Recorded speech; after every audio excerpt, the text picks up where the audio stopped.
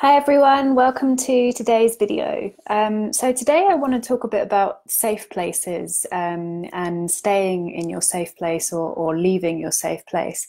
So I've been reading a lot and, and seeing comments and working with a few people recently and seeing a, a kind of theme of people becoming more and more recluse or, or reliant on their safe space. So that was the reason this kind of came up and, and I wanted to talk about it. Um, so there are many reasons for people wanting to stay in their safe place or finding it harder to leave their safe place. Um, you know, it could be feeling vulnerable, feeling exposed, feeling unsafe.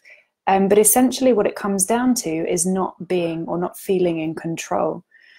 Um, and I think that's that's the biggest underlying theme there. So while in the safety of one's own home, almost everything feels controllable. But when when you go outside into the big wide world, you lose that sensation of, of being in control. There are too many factors in play. So other people, you know, the natural elements and, and everything that comes with that and, and all the all the risks and things that, you know, kind of are out there. And I get it, it can be scary not being in control. Um, a lot of fears are are based around you know not being in control. So flying, for example, you know it's not in your hands. You're you're in a big space in the sky, and it, it all depends on you know the engineering of the aeroplane and, and the pilot being in control. Um, fear of insects, you know, we kind of they're more powerful than us, and they they have more control because if they bite us or, or this that and the other, we we lose control. Um, you know, fear of judgment also, it's not in your control what other people think. Fear of rejectment, reje rejection, sorry, it's not in your control if people push you away, and the list goes on and on. So it's no wonder, really, um, why young people are becoming more isolated.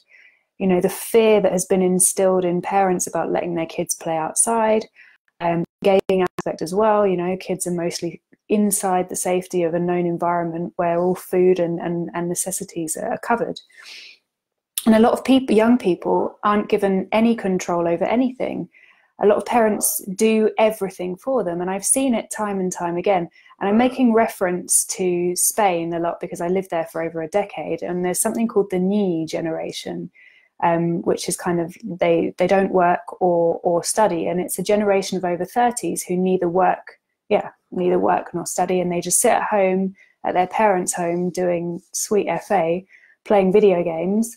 And unfortunately, they end up not knowing how to do anything for themselves because even though they've never left home, they don't have to do anything for themselves at home. So why leave? And who on earth is going to want to partner up with someone who's never washed their own underwear? And the answer to that is somebody who needs to be a carer. So yes, there is someone out there for everyone. And I'm yeah, I mean, I'm I'm fascinated by, and I've lived it myself, places that are essentially kind of war zones where people just go about their daily lives, and you just have to get on with it with all of that stuff that's outside of your control. So, what happened when you stopped leaving the safe space of your home? Um, there's a lot of internet self-diagnosis going on, internet support groups, which are actually mostly kind of plagued with people sharing what a shit time they're having too. So it's largely unhelpful um, a lot of time with yourself, and you have to really watch out for the inner voice there, what's going on inside your head. And often, you know, it can lead to an unhealthy relationship with alcohol or something like that to make the pastime. And so it spirals kind of out of control. And it's not an easy dilemma. People start to rely on their safe space. They feel that anywhere else is an immediate threat to their well being. And this is really common with the elderly too and it goes back to a lack of control you know if i go outside and i'm i, I don't feel safe or you know i don't feel safe i feel exposed i'm not in control of the elements around me. So it's a loop. If i go out i'm exposed. If i'm exposed something could happen. And if something happens it'll be terrible so i best not go out. And that's a lot of what ifs with little resolution. And it's kind of the same thing with kids with anxiety. The more they're taken out of school the less likely they are to go back but I mean, wait a minute, nobody is born with anxiety. I mean, no one is born with anxiety. So, what's going on? Why are we not looking at why kids have anxiety?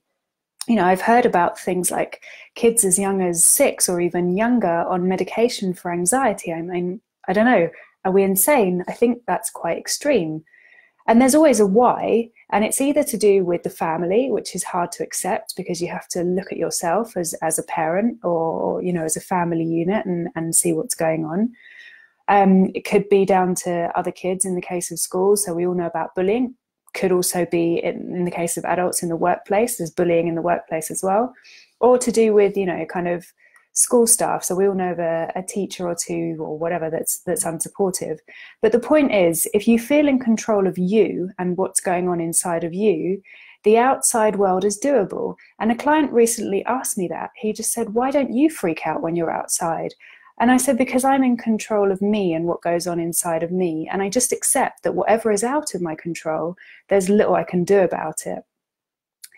So there is a great need for everyone to understand that the only thing you can ever truly be in control of in, in your life, essentially, is your mind. If you aren't in control of your mind, your life is being played by external factors. And I refer once again to Viktor Frankl's book, uh, Man's Search for Meaning. Um, you know, you you have to choose how you think. So essentially, what you think is what you become. So yes, it's lovely to feel safe in your in your lovely home or on the treadmill, as somebody commented today, or in your mother's embrace. But you have to start taking control of what goes on in your mind. Take the reins, take control, and change your life. So start with baby steps, and I've talked about this time and time again: meditation, observing your thoughts, affirmations, and and taking action, um, which is essentially what it comes down to.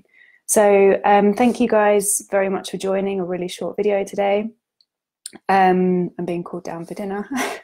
um, please tag anyone that you think might find this useful, share, like, comment, um, and to find out how to work with me one-to-one, -one, just go to the link in the description. So thanks guys for joining. Lots of love. Have a great evening. Ciao, ciao.